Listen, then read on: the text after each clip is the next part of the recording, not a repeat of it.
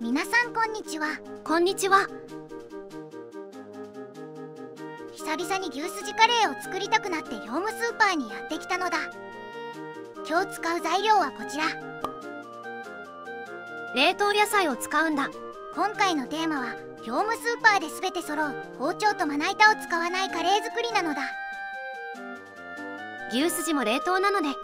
生を扱うお店の方が少ないからね値段は 100g あたり298円。514g 入ってるから1531円だよ。結構お金かかったわね。牛すじって意外と高いからね。生でいいお肉が買えるお値段だけど筋にしか出せないトロトロ感がたまんねえのだ。問題はこれよね。生はなかったの？中国産の人参しかなかったんだよ。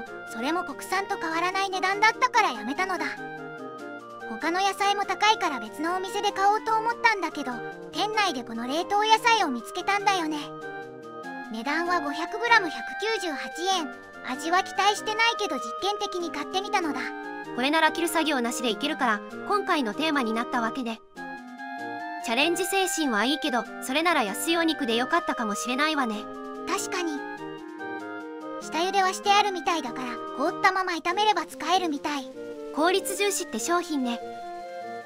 最後に紹介するのはカレールーなんだけどこれは業務スーパーのプライベートブランドになるのかな。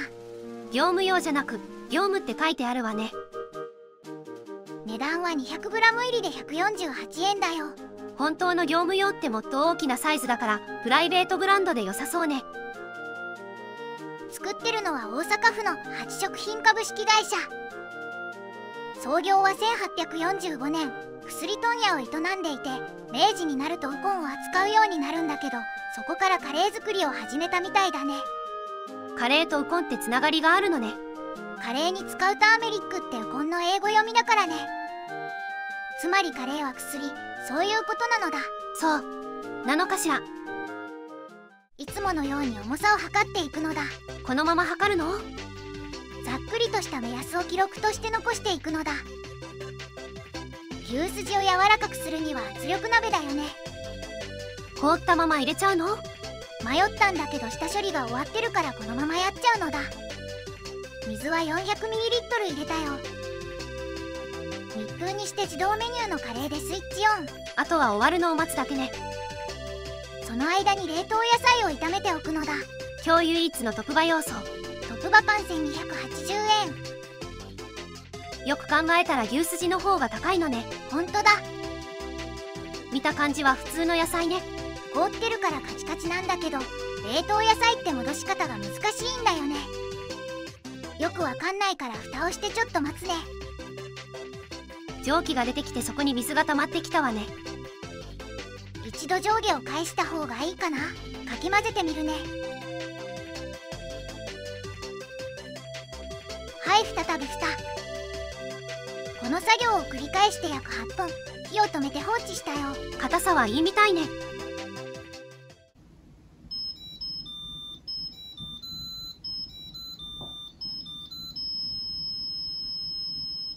できたみたい。じゃあ蓋を開けてみるね。オープン。すごいことになってる。正解かどうかわかんないけどこのままやっちゃうね鍋にさっきの牛すじを入れて野菜も全部いっちゃうのだ。水を交換しなくて大丈夫なのかしら？まだ火をつけずにここでカレールーを入れてしっかり溶かしていくのだ。業務カレーの主張が強い。よくある感じだね。ここでちょっと気づいたことがあってね。何かしら？じゃがいもの数が少なくなってるのだ柔らかいから混ぜてる間に溶けちゃったのね。残ってるのを取り出しておくね。半分以上なくなっちゃった。じゃあ火をつけて煮込んでいくのだ。6分くらい経ったかな。じゃがいもを戻して。ご飯にかけたら完成なのだ。今日の飲み物は業務スーパーのノンアルコールビール。なんとドイツから輸入してるのだ。韓国ってイメージだったけどこういうのもあるのね色が薄いね。思ったよりいけるね。ノンアル特有のフルーティーさはあるけどビールっぽい部分があるのだ。問題はこっちよね。匂いは普通のカレーだね。ではいただきます。はいどうぞ。おっと。あれ？牛すじが柔らかくなってないのだ。硬いの？スーパーで茹でた豚もつってあるじゃない？あれくらいの硬さなのだムニムニしてる感じだね。ほんとならトロトロになるはずなんだけど。凍ったままやっちゃったのが悪かったのかしら。中辛だけど辛くないね。味はかなりマイルド。普段ジャワカレーを使ってるから物足りないのだ。次は野菜を食べてみるね。味はどうなのかしら。食べられるけどなんか水っぽいね。表面はつるっとしてるけど中はザラッとしてるのだ予想はしてたけど美味しくないね。辛辣ね。牛すじのムニムニはまだいいけどマイルド味には合わないね。相性が悪いものを掛け合わせちゃったのね。今日は作り方が良くなかったから星評価はできないわね。そうだね。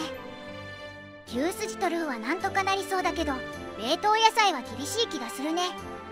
でもさ包丁を使わなかったから作るのは楽だったよ。じゃあ今日はこの辺りにしましょうか。それでは皆さんごきげんようごきげんよう